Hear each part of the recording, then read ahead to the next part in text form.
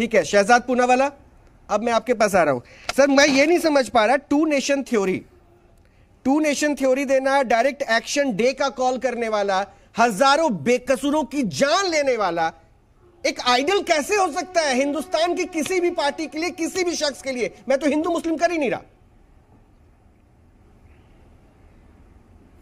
रोहित जी, आपको एक चीज़ समझनी होगी कि जैसे जैसे चुनाव पास आ रहे हैं तो एक 19 फ़ीसद का fool F O O L नहीं पी एच ओ एल ये फूल पकड़ने की कोशिश में कई सारे माली लगे हुए हैं। एक माली हैदराबाद से आया है तो उसको स्पर्धा देने के लिए जो यहाँ के उत्तर प्रदेश के कुछ माली है, जो इस वोट बैंक के फूल के पीछे आवारा की तरह, भवने की तरह लगे रहते हैं, वो एक के बाद एक बयान दे रहे हैं। इससे पहले तालिबान को उन्होंने कहा कि भगत सिंह की तरह स्वतंत्रता सेनानी है। इसके पहले इन्होंने कहा कि अलकायदा के आतंकियों पर भरोसा है, यूपी एटीएस पर भरोसा नहीं, और अब उन्होंने जिन्ना को अपना लिया है। अब ये प्रवक्ता साहब जो बैठे इनको इतनी भी जानकारी नहीं है कि जिन्ना को कैद आज़म महात्मा गांधी ने उपाधि नहीं दी थी, ये मौलाना मौलाना मजरुद्दीन शहीद इन्होंने दी थी, इन्होंने महात्मा गांधी का नाम चिपका दिया। तो ये इतिहास जो पढ़ के आए हैं, बिल्कुल सही है। अखिलेश यादव इतिहास तो पढ़ के आए, पर पाकिस्तान का इतिहास पढ़ के आए पर वर्तमान में स्थिति यह बन चुकी है कि कुछ लोग केवल और केवल तुष्टिकरण के वायरस से इस तरीके से ग्रसित है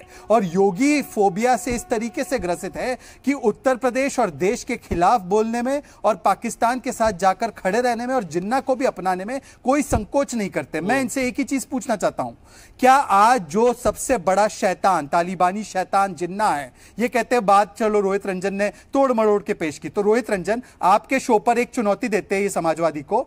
ये एक बार कह दे कि मोहम्मद अली जिन्ना वॉज़ अ शैतान। ये कह सकते हैं। वो तो सुपर हीरो बता रहे हैं ना। डॉक्टर राय कहाँ से कह पाएँगे? मैं तो यही कह रहा हूँ। इनके लिए तो वो कह रहे हैं इतिहास पढ़िए। नहीं नहीं आप तो गुनेगार नहीं बोलते ना आप तो विलन नहीं बोलते ना डॉक्टर राय बताइए डॉक्टर तो राय नहीं बोलती ना।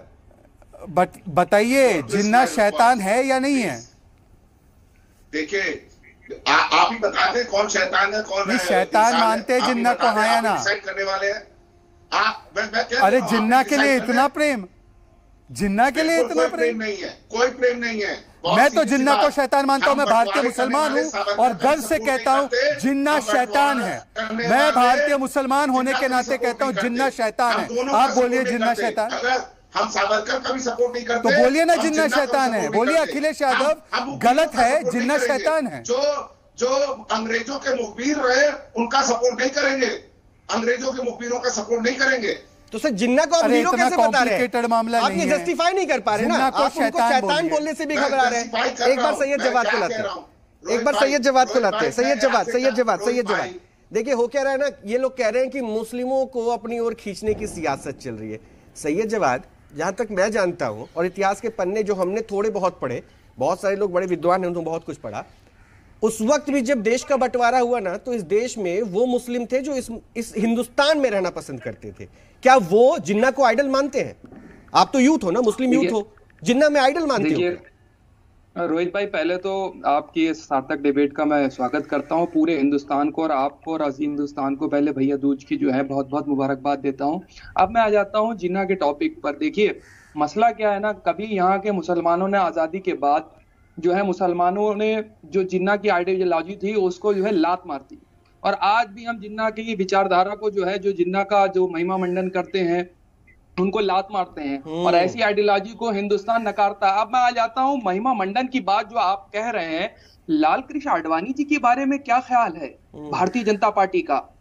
जो प्रेम जो प्यार और मोहब्बत लाल कृष्ण आडवाणी जी पाकिस्तान में जाकर के दिखा करके आए थे उसके बारे में क्या कहना है हम्म। हमारे देश के प्रधानमंत्री बिना क्लियरेंस लिए पाकिस्तान जा करके वहाँ के जा करके उनकी लिए मलियाबादी आम लेकर के जाते थे शॉल लेकर के जाते थे उसके बारे में क्या ख्याल है टू नेशन थ्योरी का सबसे ज़्यादा सपोर्ट करने वाले यही जनसंघ और आरएसएस के लोग थे उसके बारे में क्या ख्याल है हम्म। शहजाद भाई थोड़ा ना आज स्टडी मुझे लगता है कम करके आए हैं और सबसे बड़ी बात चीना का महिमा मंडन कौन लोग कर रहे हैं? अरे भाई थेरी के सपोर्ट करने वाले लोग और के साथ मिलकर के सरकार बनाने वाले लोग वो आज ये बात कर रहे हैं। हम्म, बड़ा हास्यास्पद लगता है।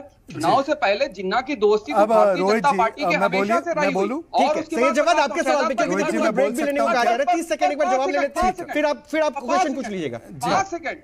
पाँच सेकंड अभी पाँच सेकंड। पाँच सेकंड।